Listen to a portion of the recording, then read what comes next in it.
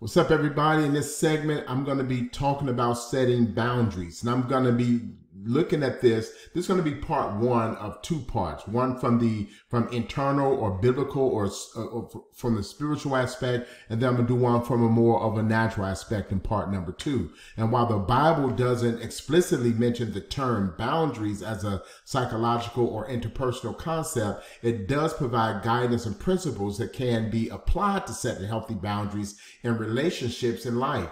And here are some Bible verses um, that addresses themes related to establishing boundaries, uh, personal responsibility, and maintaining healthy relationships. In Proverbs 4:23, and um, all is going to be in the NIV version. Above all else, guard your heart, for everything you do flows from it. This verse emphasizes the importance of protecting your heart, which can be interpreted as setting boundaries to protect your emotional well-being. Ephesians 4:26. In your anger, do not sin. Do not let the sun go down while you are still angry. This verse suggests addressing conflicts or issues promptly and not allowing negative emotions to linger, which could res- relate to resolving boundaries in relationships. Uh, Proverbs 25 17. Seldom set foot in your neighbor's house. Too much of you, and they will hate you. This verse illustrates the importance of respecting personal space and boundaries of others. Matthew 5:37.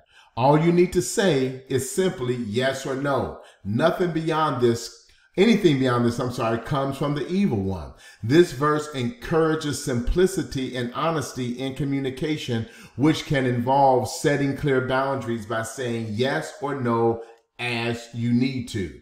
1 Corinthians 6 and 12. I have the right um, to do anything, you say, but not everything is beneficial. I have the right to do anything, but I will not be mastered by anything.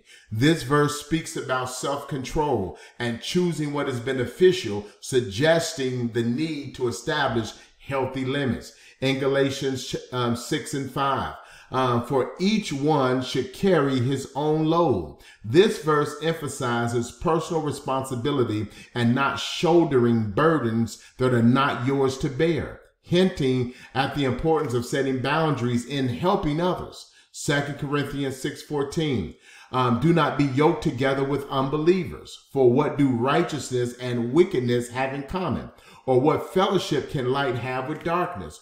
While this verse primarily addresses spiritual matters and highlights the importance of aligning oneself with compatible values and boundaries, these verses, among others in the Bible, offer principles and wisdom that can guide individuals in setting healthy boundaries, practicing self-care, respecting others' boundaries, and maintaining balanced relationships. While the concept of boundaries might not be explicitly stated, these biblical principles can be applied in various interpersonal situations to promote healthy boundaries and, and, and well-being in throughout our relationship, our life and our relationships.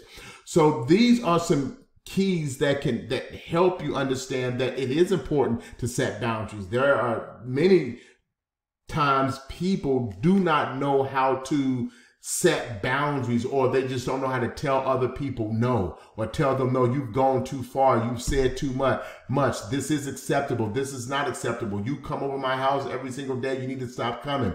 Learning how to set boundaries is is is is quintessential to your uh, spiritual growth and development. So I hope some of these principles helped you from a spiritual standpoint. There's a lot of other scriptures that can be applied to setting boundaries, but here's a few that can help help you on that journey. This is Elder Stacey Zanders. Be looking out for part two of a more natural um, aspect of setting boundaries in in your um, relationships with individuals in your work life, that will be part two of setting boundaries. But as always, God bless you.